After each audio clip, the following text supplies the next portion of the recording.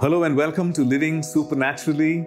This is day five of our study of God imitators.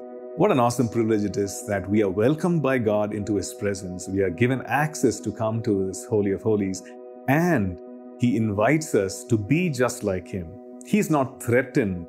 In fact, He welcomes us to be like Him. Ephesians 5 and verse 1, the verse that we've been looking at. Therefore, be imitators of God as dear children. So, God is pleased when we try to be like Him. Just like any earthly parent is proud when the child tries to be like Him in, the, in, a, in a good way, in the good things, either in speech or in behavior or in action, so also a Heavenly Father. And we are called to imitate what is good. He is good.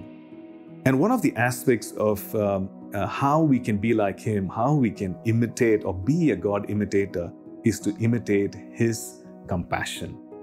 The compassionate heart of God moves uh, uh, many things, and one of the things is that He's moved with compassion to reach out and minister, to reach out and touch people's lives and transform people's lives. Um, so we are called to imitate His compassion. Let's look at Matthew chapter 9, uh, verses 20, 35 to 37 says then jesus went about all the cities and villages teaching in their synagogues preaching the gospel of the kingdom and healing every sickness and every disease among the people. Verse 36 but when he saw the multitudes he was moved with compassion for them because they were weary and scattered like sheep having no shepherd. Verse 37 then he said to his disciples the harvest truly is plentiful, but the laborers are few. If you look at this, uh, this passage, we see that he saw the multitudes and they were weary, they were uh, scattered like sheep having no shepherd, and he was moved with compassion. He was moved with compassion towards the weary. He was moved with compassion to those who were who seemed to be scattered and didn't have any place to belong and he wanted to shepherd them. Right? He himself said, I am the good shepherd. He was moved with compassion to nurture the people, to feed their spirit, to feed their soul, and to feed their bodies as well when they were hungry.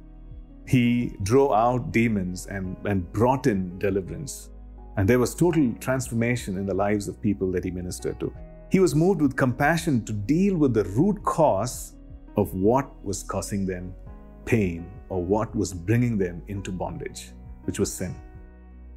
So, God has called us to be like Him, to be uh, ministering like Him, to move with compassion.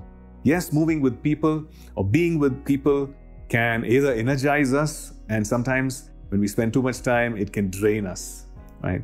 But under the guidance of the chief shepherd, we can be shepherds who can nurture, who can bring about change in people's life by the power of the Holy Spirit.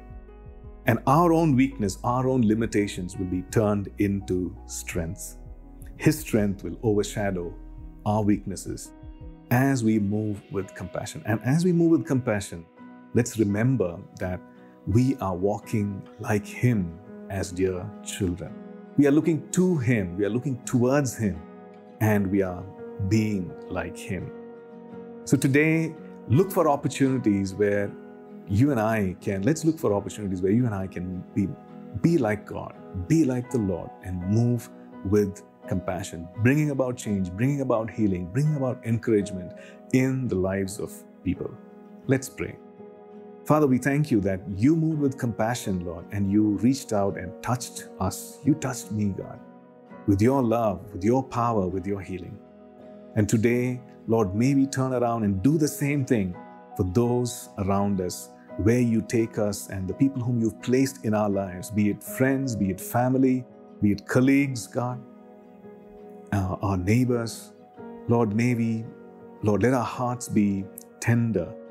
Holy Spirit, even as you lead us, may we move with compassion and touch people's lives for your glory.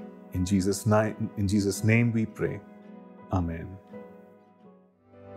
Thank you for tuning in to Living Supernaturally. For more resources to strengthen your spiritual walk, please visit apcwo.org.